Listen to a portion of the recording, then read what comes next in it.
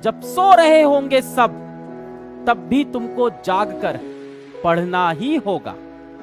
जब सो रहे होंगे सब, तब भी तुमको जागकर पढ़ना ही होगा। बड़ा सपना तो तूने देखा है।